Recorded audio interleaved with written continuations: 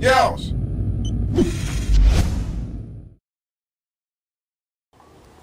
What's up guys, Wak4863 here and uh, I brought you back out here today because when I did my setup video I did this to the PS3 and uh, as you can see it's pretty resilient.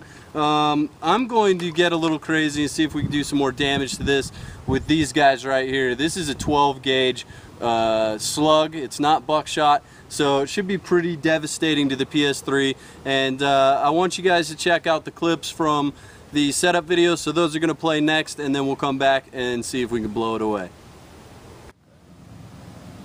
What's up guys? So got a PS3 here, yellow light of death. And uh, the only thing to do with these after you get the yellow light of death is just to get all FPS rush on them. So that's what we're going to do here today. And what do I have for you? Got the Springfield 1911 45 caliber and we're just going to blow this guy away.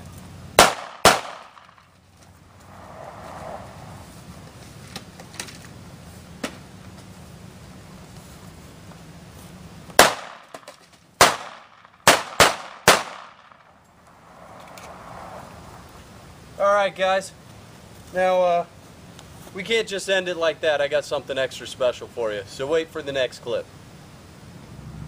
Alright guys, so you saw the 1911 by itself.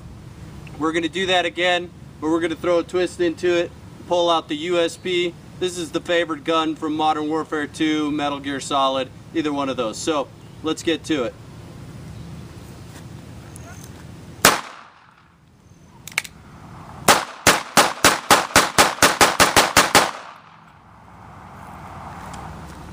Alright guys, that's it. I hope you enjoyed my setup video. Like the video if you want to see me shoot more stuff. Can't say it's always going to be PS3s, but we'll have fun. Alright, peace.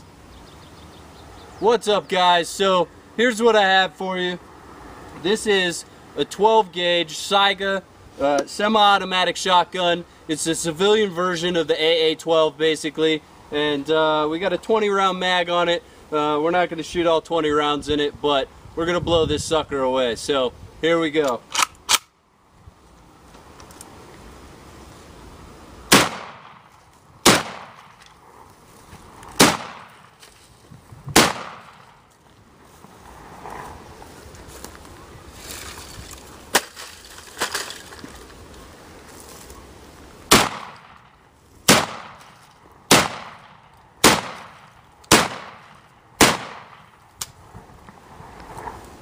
Alright guys, I hope you enjoyed it. Let me grab the PS3 and just see what kind of work we did with it.